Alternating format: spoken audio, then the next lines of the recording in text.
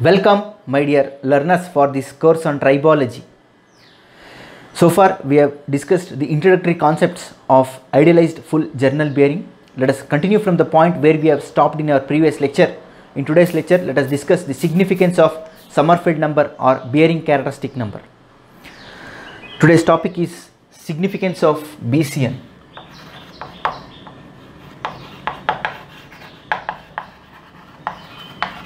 Significance of bearing characteristic number or Sommerfeld number.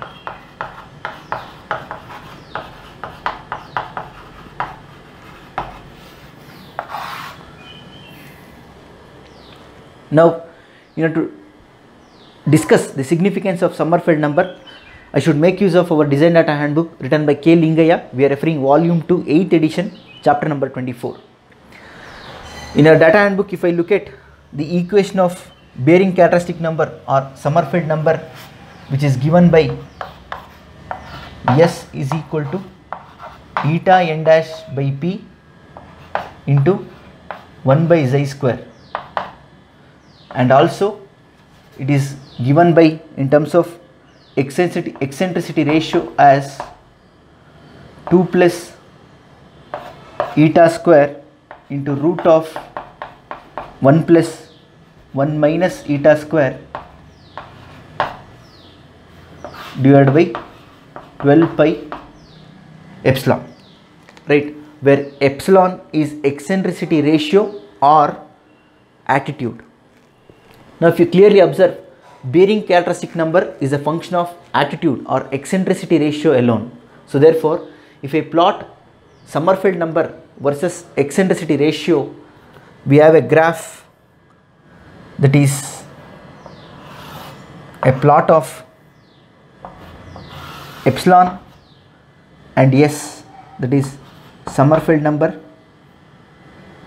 which is given by eta n dash by p into 1 by xi square versus epsilon. The graph is like this. We have a separation for heavily loaded bearing and lightly loaded bearing where S is 0.15 I will tell you how we got the value of S as 0.15 this bisection will gives us the region for lightly loaded bearing.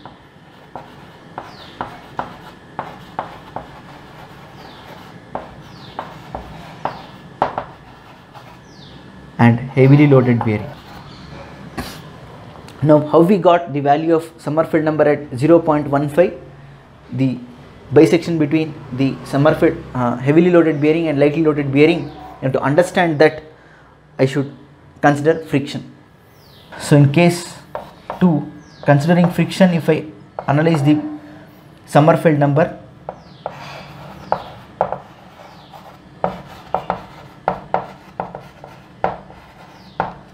if I consider friction we have from equation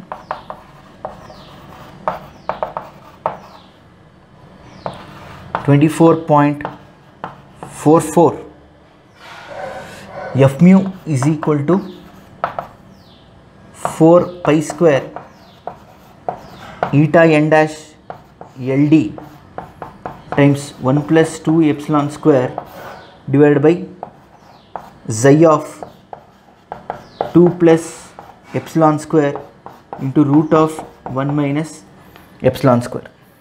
Now, you know to get the essence of Sommerfeld number, let us define a parameter f mu dash which is given by f mu by LD. Therefore, I can write f mu as f mu dash LD somewhat similar to bearing pressure. Let us define a term to get a similar term as Sommerfeld number. Now, if I substitute that in this equation and simplify, what I will get? F mu dash LD is equal to 4 pi square eta n dash LD times 1 plus 2 epsilon square divided by xi of 2 plus epsilon square into root of 1 minus epsilon square right? So if I simplify I will get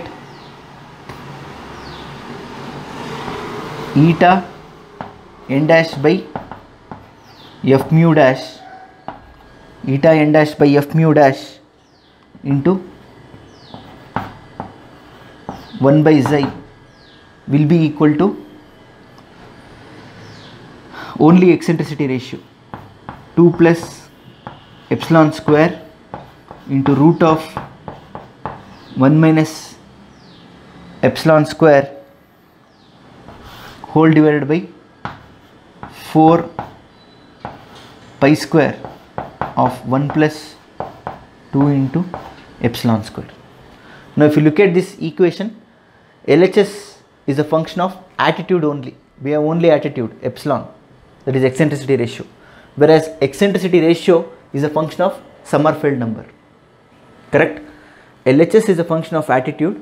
Attitude is a function of Sommerfeld number. So therefore we can plot a graph referring to figure.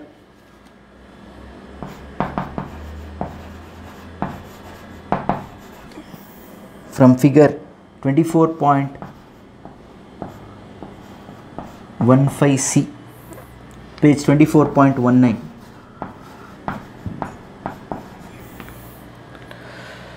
that is attitude is a function of Sommerfeld number. Hence we have a plot of LHS versus Sommerfeld number which is, is like this.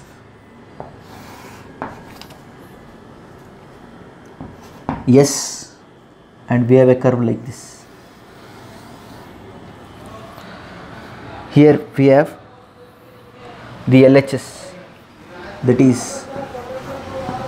eta n dash by xi times f mu dash.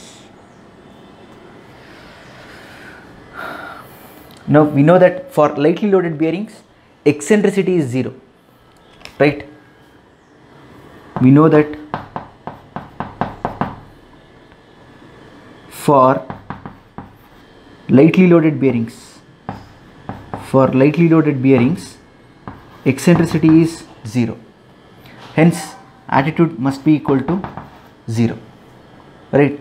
So therefore if I substitute attitude or eccentricity ratio as 0 and simplify I'll get the LHS as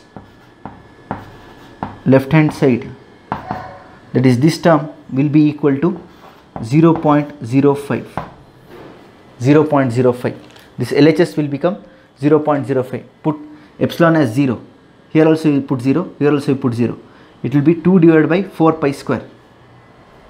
2 divided by 4 pi square is 0.05 so at 0.05 if I cut this at 0.05 if I cut this and come down I will found that S will be equal to 0.15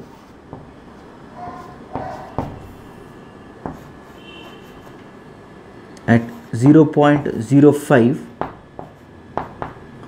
I'll cut this arc and come down and see S will become 0.15 so beyond 0.15 beyond 0.15 the region belongs to lightly loaded bearings. Below 0.15 the region belongs to heavily loaded bearings how we got S as 0.15 we got S is equal to 0.15 by considering friction into account rearrange the friction equation and substitute attitude or eccentricity ratio as 0 and we will found the LHS as 0.05 so from the graph if I go at 0.05 and intersect the curve and come down I will found that Sommerfeld number as 0.15 which gives us the boundary for lightly loaded and heavily loaded bearing. Now you know to understand much better let us consider friction. So if I consider friction into account what happens that is in case 3 consider friction.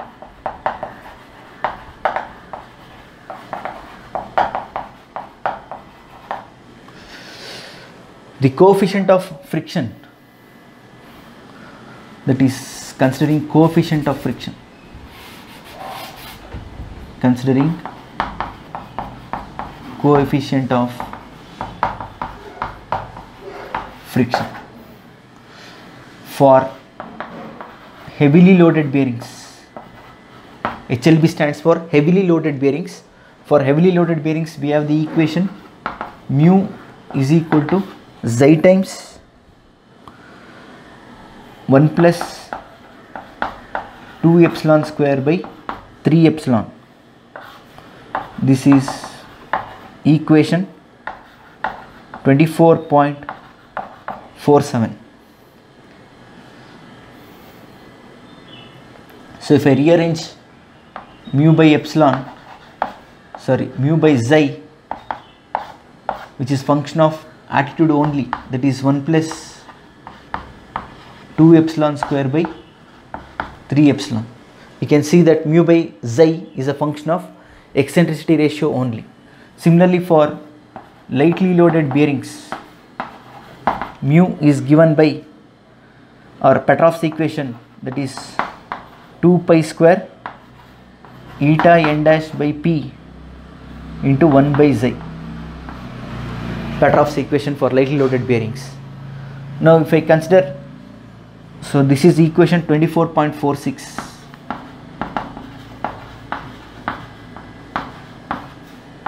Now for lightly loaded bearings, if I consider mu by xi, xi this will be equal to 2 pi square eta n dash by p into 1 by xi square. We know that eta n dash by p into 1 by xi square is Sommerfeld number. Eta n dash by p into 1 by xi square is Sommerfeld number. Therefore, for lightly loaded bearings, mu by xi is a function of Sommerfeld number. Yes. So hence I can plot mu by xi versus Sommerfeld number and see what happens. That is referring to figure referring to figure 24.19 in page number 24.25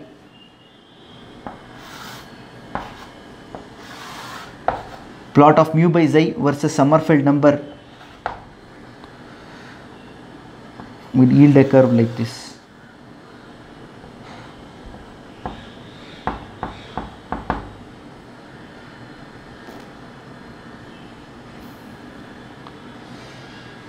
Let us take this as equation B, this as equation A dotted line is equation B. Both will meet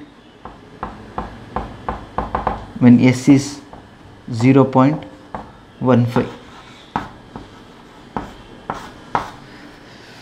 So from the plot of mu by xi versus Sommerfeld number, it can be seen that the curve of heavily loaded bearing and the lightly loaded bearing will meet when S is equal to 0.15. At S is equal to 0.15, if you see equation A and equation B will intersect each other. So therefore, above 0.15 it is a region for lightly loaded bearing, below 0.15 it is heavily loaded bearing. So this is the region for lightly loaded bearing and this is the region for heavily loaded bearings.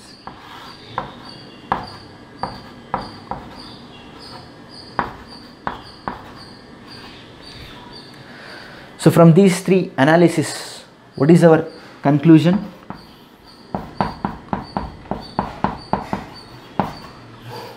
The significance of Sommerfeld number is that if Sommerfeld number is less than 0.15 then the bearing is heavily loaded bearings if Sommerfeld number is greater than 0.15 then the bearing is lightly loaded bearings. HLB stands for heavily loaded bearing. LLB stands for lightly loaded bearing. And what is our second inference?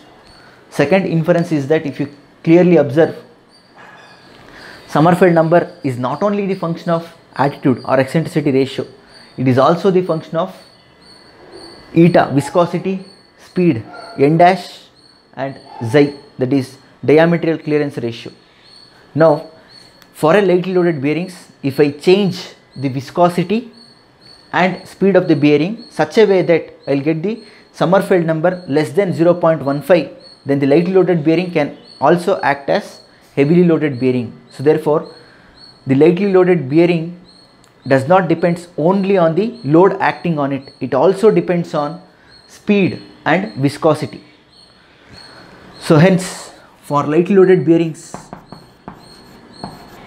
for lightly loaded bearing load is not the only criteria. Load is not the only criterion load is not the only criteria. If we change the speed of the journal if we change speed and viscosity of the lubricating oil if we change the speed and viscosity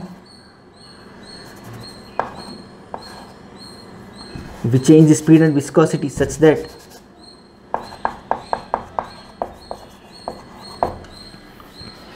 S becomes Sommerfeld number becomes less than 0.15 less than 0.15 then then lightly loaded bearing behaves like heavily loaded bearing then lightly loaded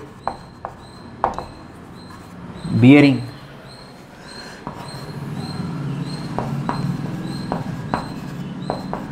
behaves like heavily loaded bearing.